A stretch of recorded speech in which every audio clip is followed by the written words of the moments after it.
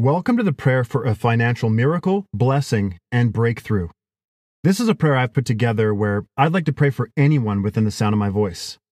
All I ask you to do is to agree with me as I pray, and together we will seek our Heavenly Father. Let us pray. Heavenly Father, we gather together and come into agreement in the wonderful and powerful name of Jesus Christ.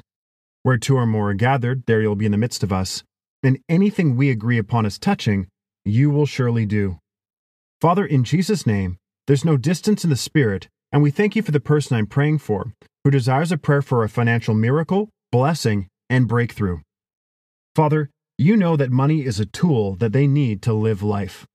We ask you to please help them keep their motivations free from the contaminating love of money. Help them stay free from the greed for money in Jesus' name.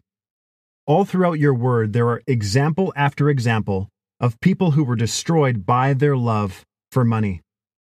Finances became their motivation, and it destroyed their life. We lift up every financial need of the person I'm praying for right now. In Jesus' name, we ask you to provide all that they need and more. From the north, the south, the east, and the west, we call in all that you know they require to meet the needs that are on their heart and mind right now even the needs they don't know about yet.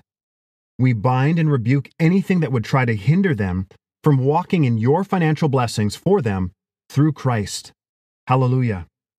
Together in this prayer, we thank you for meeting their financial needs according to your riches and glory by Christ Jesus. More than enough, Lord, so that they can bless others as you have blessed them in Jesus' name. Help them, Lord, to handle all that you have in store for them. Help them to be free from serving you and others with greediness for gain as the motivation. They look to you and you alone as their provider every step of the way. We decree and declare that the love of money is not nor ever will be their motivation. We decree and declare that the reason they abound with financial blessings is because they seek first your kingdom and your righteousness, and you meet all their needs.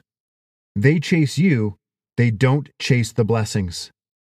They sow where you say sow and reap harvest after harvest in the name of Jesus. Lord, they know that if money is ever the motivation behind something, then it is best for them to pack up and do something else. You have called them to love you and love people, first and foremost. The person I'm praying for will never look to others as their source for their needs to be met. You and you alone hold that place in their heart. May you be magnified forever and ever, Father. Thank you for their financial miracles, blessings, and breakthroughs as a result of this prayer. We believe and receive everything we've prayed and give you glory in advance, for this prayer is answered. In the wonderful and precious name of Jesus, we pray. Amen. Thank you for praying with me. This is Daniel, the creator of Daily Effective Prayer. Be sure to subscribe to the channel and share it with others if you haven't already. If you'd like me to pray for you personally, simply leave a comment below this video. God bless you.